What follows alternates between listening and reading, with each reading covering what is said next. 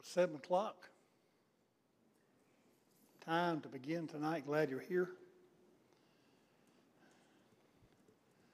We'll continue tonight on the Beatitudes. We're going to be in Matthew chapter 5, looking at the uh, second Beatitude that Christ spoke there. We'll begin the word of prayer first. Michael, Randall, please pray, please.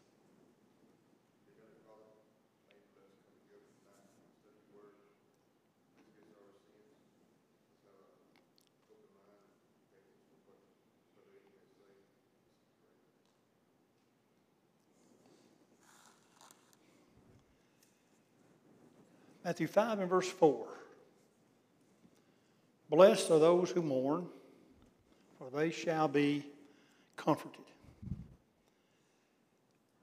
There's a difference in crying and mourning. We know there's a difference there.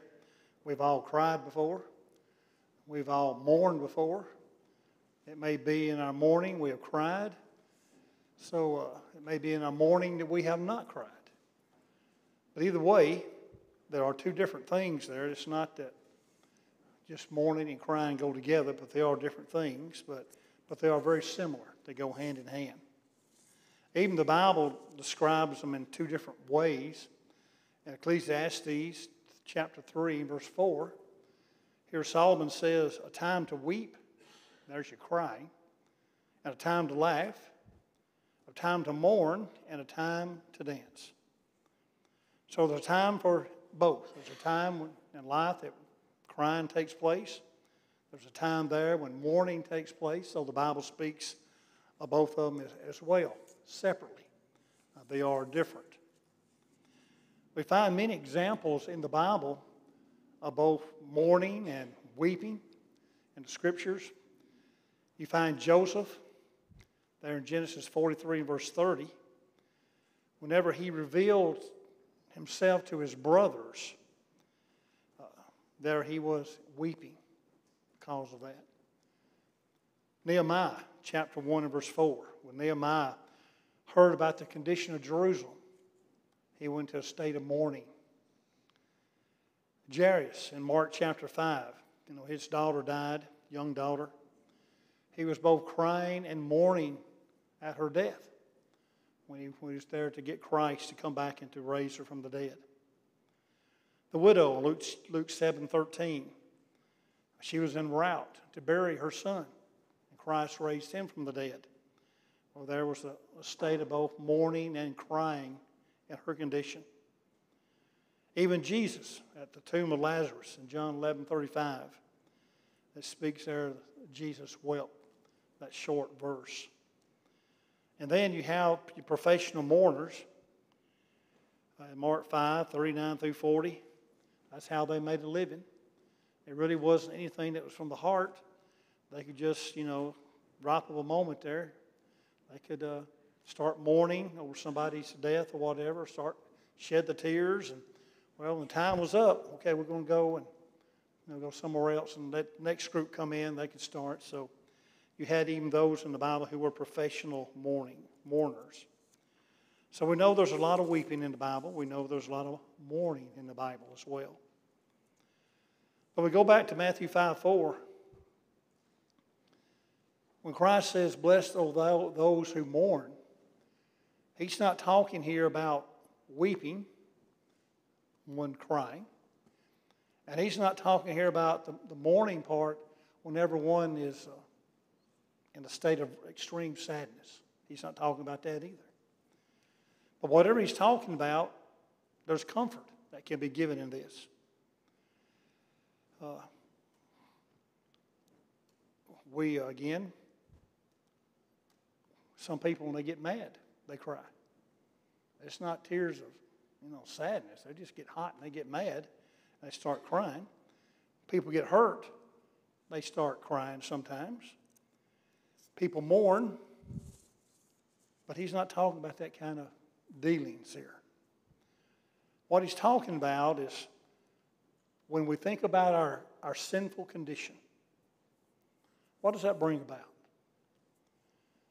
What, what do we think about it? Do, do we have a state of crying when I think about maybe my condition before I became a Christian. And I think about my condition now, even I'm still a sinner, but I'm forgiven, of course. But does it cause me to mourn because of what I've done in my life? Does that cause me to mourn? That's what he's talking about. When we think about sin, and we're going to look at some more here in a little bit how some think about sin, how they look at it. But when we think about sin overall and bring it home to our sin, does it cause sadness to think that what I've done had to brought about the death of Christ so I could be saved? My sin. A good example of this is in Luke 7. Here's a woman who comes to Christ. And uh, look at her, her condition. 7, 37 and 38 of Luke. And behold, a woman in the city who was a sinner, when she knew that Jesus sat at the table of the Pharisee's house, brought an alabaster flat flask of fragrant oil, and stood at his feet, behind him weeping. And she began to wash his feet with her tears, and wiped them with her hair of her head, and she kissed his feet and anointed them with the fragrant oil. So here's a lady this woman. Bible says she was a sinner, but that's not meaning she was just your common everyday sinner. We all sin. But this woman had a reputation about something. Reputation. She was known as a sinner. Whenever her name was brought up, you knew exactly what the sin was that she was committing. It's well known. But here's a woman she comes to Christ and she has this oil, and there she begins to weep, and she begins to wash her his feet with her tears, and she dries his feet with her hair, and then she puts the oil there on Christ. Her sin drove her to do this. She realized her condition. And she realized there's only one person that can help me in my condition. And she goes there, and there she is weeping because of her condition. She had some pain. It wasn't a phys- physical pain. It wasn't really necessarily a, a mental pain, we might call. This woman had a pain dealing, dealing with sin it really was getting to her. And, uh, and she probably had a lot of sin to forgive, to how to be known as a sinner. So she comes understanding her position to Christ. And she goes down on her hands and knees, and, and there she's at his feet. Uh, there's somebody that uh, understands it. And the last week we talked about the, the beggar blessed are the poor. Well, this woman will fall into that category as well. Well, she's begging. She's right there at the feet of Christ, and she's begging for some help that will come from Him. So she didn't come to Christ because she was sick physically. She didn't come to Christ because somebody was dead in her family or dying. She came because of sin, and she was aware of that. I got to do something about this. And then we go to verse 47, where the story is continued, Luke 7 47. Therefore I say to you, her sins, which are many, are forgiven, for she loved much. But to whom little is forgiven, the same loves little. Then he said to her, Your sins are forgiven. Then in verse 50, he said to the woman, Your faith has saved you. Go in peace. She left different than what she and how she arrived. And that's a good thing. She entered broken. She entered with this weight of sin upon her, and then she leaves with that sin forgiven. No more. She had a lot of them, many of them, but every one of them was forgiven. And uh, And we should have the same you know, thought about us whenever we, we come to Christ, become Christians. We should have that feeling of forgiveness. Everyone has been lifted off of us. Uh, we, we, probably all of us know somewhat when we you know, do something against somebody or somewhat, and we go and we ask for their forgiveness, and, and, and we're forgiven, and everything's back in a good position. That's a good feeling. But to have that feeling toward God, to know we're forgiven, would be even a, a greater feeling that we should have. And she had that feeling. Her faith has saved her. What great words to come from Christ. Because she had faith there that He would do, He could save her, He would forgive her. She knew who He was, the Son of God.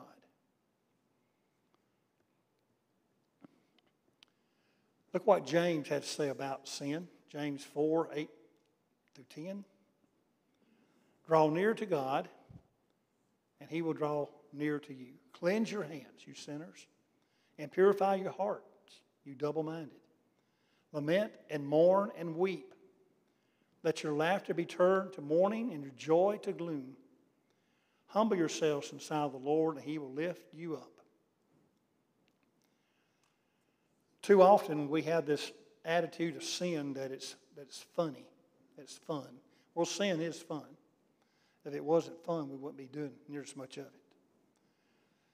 But uh, here, sometimes we have become desensitized to sin because of mainly television, everything that goes on there, and, and we see it, and hey, we know that that morality is wrong there. We know that the wording is wrong, and everything about it, in, in many cases, is wrong. But hey, we, we go on about it, and next week we tune in again and watch the same, same deal. Well, verse 9 there, he says, Let your laughter be turned to mourning and your joy to gloom. When we think about sin, we shouldn't be laughing about it. We should be mourning about it because of what it's done, what it's done to each of us, what it continues to do, and what it can do. We don't, have, we don't need to be joyful about this, about sin it's, gloom to think about it. We always walk around in a state of mourning, in a state of gloom because sin. No, we don't do that. But we need to understand what sin is about and how it affects us. Uh, it can afflict us uh, spiritually. It can do that. So, uh, hopefully, we understand the true meaning of sin. We have the mourning, we have the gloom, and then we'll let the Lord pick us up when He tells us, You're forgiven. I'm not going to hold this against you. That's a good thing to know. Let Him pick us up. Uh, no laughing matter. And yet, how many times do we have, have heard people laugh about sin? I mean, their own personal sin. They just laugh about it, brag about it. Sin has, has no way is to be bragged about. No way. But yet many people will brag about their sin, what they have done, how many times they did it, who they hurt, whatever. It's nothing to be uh, bragged about. It's forgiven. That doesn't need to be brought up again. But to go back to, uh, again, back to that beatitude, Matthew 5 4. Uh, person who has this attitude, the mourning attitude, they're going to be blessed and they're going to be comforted in doing this. This is not a, sometimes they call jailhouse repentance. Person goes to jail and all of a sudden they get, they try to find them uh, sometimes a Bible and they, they got change, and change can happen. But many times it's just for the moment. I stand before the judge that I'm released, and many times they go right back to what they were doing. And that's, uh, and that's sometimes what happens. But the person who's really mourning, not going to go back to it. They understand what, what has happened. Uh, probably shed a lot of tears because of their behavior. And probably other people shed a lot of tears because of their behavior. And knowing that, they're not going to go back to it. They understand their sin, they understand their disobedience, rebellion, stubbornness, understand all that, and they're not going to go back to it. And that's the kind of response that God wants us to have toward Him. Uh, to truly mourn in our soul. I'm not going back to that. No more. In Luke 18, verse 13, the uh, tax collector, or publican, some versions say, uh, he had the right attitude. And the tax collector, standing afar off, would not so much as raise his eyes to heaven, but beat his breast, saying, God be merciful to me, a sinner. That's got to be our attitude as well. When we think about our sin, it'll be hard to look at God. When you have really hurt somebody with sin, it's difficult to look them in the face. Difficult to do. So here, this man here, the tax collector, understanding his condition, he couldn't even look up to God. Couldn't do it. But yet, that's the kind of attitude that God wants us to have. Understand our condition that only He can give relief from. He can show us mercy. 2 Corinthians 7, verse 10, for godly sorrow produces repentance, leading to salvation, not to be regretted, but the sorrow of the world produces death. Godly sorrow, that's what the Beatitudes talking about godly sorrow. If I'm really sorry for what I've done, that's going to bring about repentance. And then the repentance will bring about salvation, That's what it would do if I really have the right sorrow. If I don't, I don't have the proper sorrow, then it's not going to work. If I have the right sorrow and I repent, I'm not going to do that anymore. That's what it's called repentance. It's not just I repent today and do it tomorrow again. When I repent of this, I stop it. I stop it. Don't go that way anymore. We see this in Peter when Christ, uh, when he denied Christ in Matthew 26, 75. And Peter remembered the word of Jesus who had said to him, Before the rooster crows, you will deny me three times. So he went out and wept bitterly. There's your sorrow, the weeping that he had. That's good for Peter to do that. Had been something else that Peter went out and sort of bragged about it or if he left and, and hadn't been weeping about it, oh, boy, I made a mistake tonight. Well, Christ, he was right. He was right. He told me that. Now, he went out and he wept. And then on the resurrection morning, when those ladies talked to the angel there at the tomb, in Mark 16 7, they said, But go tell his disciples and Peter. Tell Peter. Peter needed this. No other, no other disciple did what Peter did. Now, they all fled, they weren't around. But Peter denied him. I don't know him. And the words came out. Other disciples, they scattered also whenever he was arrested in the garden. But Peter tagged along, and there he said the words that he said. And here we find it. Christ calls him out by name. You tell Peter. You tell Peter. It's okay. It's going to be all right. It took a little while for Peter to get over this. it was later that when Christ met with the disciples and he asked Peter three times, Do you love me? It took him a little while to get over it. It just wasn't, oh, he, he called my name, I'm okay. Peter still had to work through this. Christ worked with him he didn't want Peter to stay down. You made a mistake, Peter. You sinned. No doubt, you sinned. Repent of it. Get over it. Got work to do. Get over it. Earlier, Peter had the right attitude in Luke 5 and verse 8. When Simon Peter saw it, he fell down at Jesus' feet, saying, Depart from me, for I am a sinful man, O Lord when he first really realized that this Jesus was not just an ordinary person, That's when he fell down. There's that understanding, that mourning. I'm in the presence of deity, I'm in the presence of God, and I need to realize where I stand.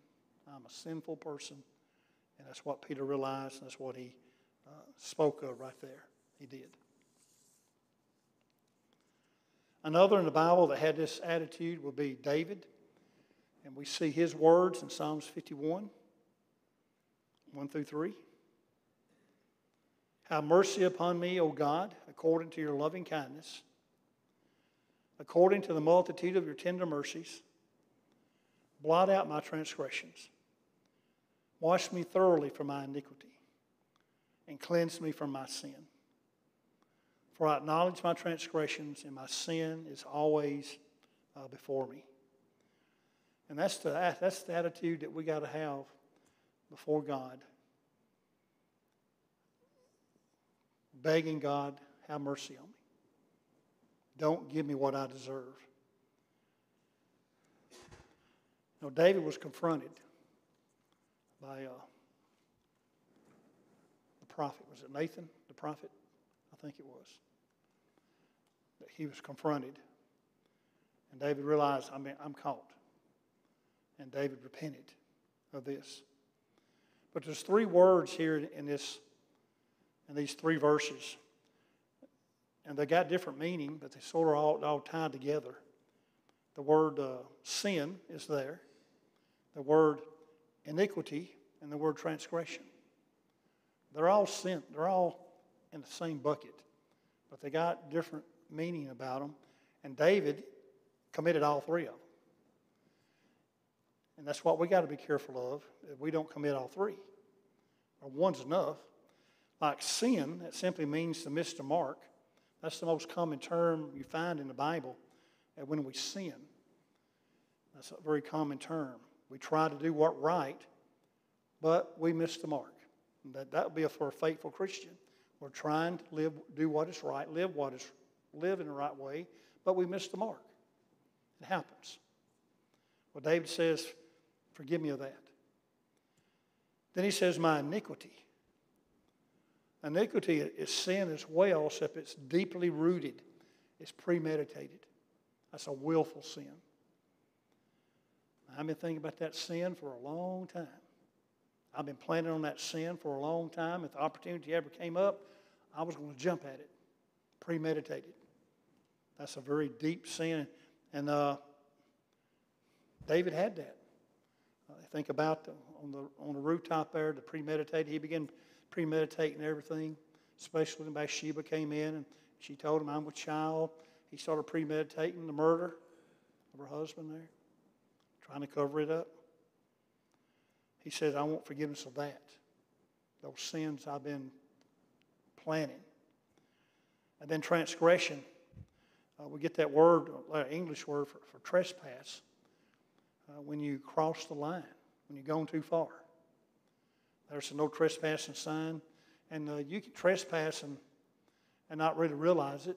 You be on somebody else's property, maybe they don't want you there, or there may be a sign there and you go on it anyway. Well, David realized, I crossed the line. I went too far. And it almost cost him. If he had not repented when Nathan came to him, a God would have taken his life, take, taken him out. But David understood the seriousness of sin, the seriousness of iniquity, and the seriousness of transgressions. And uh, he didn't want to go back there anymore. He had enough of it. It got to him. And the same thing is true on the day of Pentecost when Peter and the other apostles spoke to that large gathering of people. In Acts 2.37, when they heard this, what Peter had been telling them, and what he told them, you killed the Son of God. And when they heard this, they were cut to the heart. There's the mourning. They're in sadness. And said to Peter and the rest of the apostles, Men and brethren, what shall we do? There's the repentance. And Peter told them, verse 38, you know, repent and be baptized. And they, and they did. And in verse 41, and then those who gladly received this word were baptized. And that day, about 3,000 souls were added to them. they gladly received the word. They were glad to hear it. They were glad to know I can get forgiveness of this. Glad to know. So that beatitude, blessed are those who mourn. It's not just talking about a person who's sad, who's having difficult times in life. Nothing seems to be going their way. No, it's not that. It's talking about our, our response to sin, understanding how we stand before God, and we should be in a state of mourning to know what it did to, to the Son of God, what it cost him.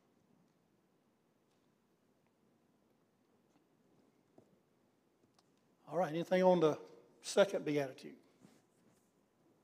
Any comment on it? All right, we'll take up the third one. Next, our next uh, study. Thank you for your attention tonight.